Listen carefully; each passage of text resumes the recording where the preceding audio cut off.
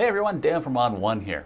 I'm really excited to tell you about kind of a bonus release for On1 Photo RAW, and that's the new On1 Photo RAW 2018.5.2 update.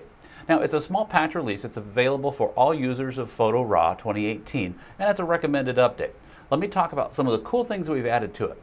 Now, it's more than just a patch release or more than just an update release. We've actually snuck in a couple cool things in here. The first thing I want to show you are some new tools for the transform pane inside of Develop. So inside of Develop, when you click on the Show More button and you add the transform pane, you'll note that there's a series of new tools right here at the top. There's the keystone tool for correcting perspective, a leveling tool, and a move tool. Let me show you how to use these guys together to correct perspective. When you click on the keystone tool, you'll see a box appear on your screen. Then what you want to do is adjust each corner of the box to something that should be rectilinear in your photo. So I'm just going to adjust it to four points that I know are supposed to all be parallel to each other here.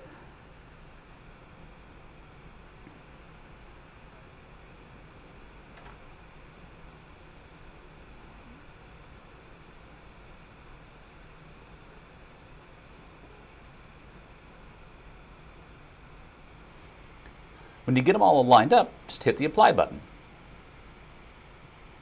This will automatically take both sides of that and move them parallel to each other, correcting for horizontal and vertical distortion for you automatically. You can then use the leveling tool to level the photo. So drag it across a line that you know is supposed to be level.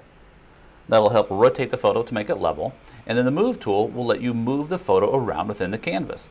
This is handy if you use the scale slider to increase the magnification of the photo, you can then grab the move slider to move it around within the photo, which is something that's pretty common to do when you want to remove those transparent areas when you make a large perspective adjustment.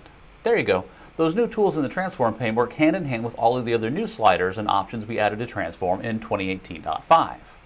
The next area that we worked on was performance. Now in 2018.5, what we did is we reworked the entire previewing system in order to make it faster on Windows computers. Unfortunately, as part of that, we found a couple cases where on some Mac hardware, it actually got a little bit slower.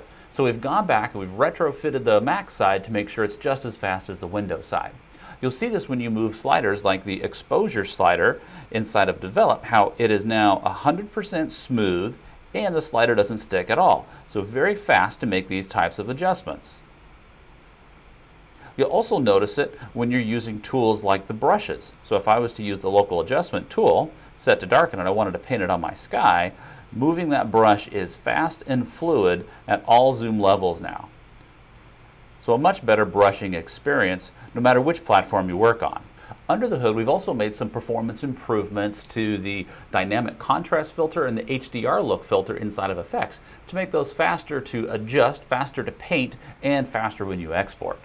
We've also added hot pixel suppression for Fuji X-Trans sensors. So when you're photographing with a modern Fuji camera at really high ISOs or very long exposures, we can filter out that noisy dots for you automatically. And we've also improved color fringe removal across the board as well. So when you get purple or green fringing around the edges on your photos when using wide angle lenses, the removal is even stronger than it used to be.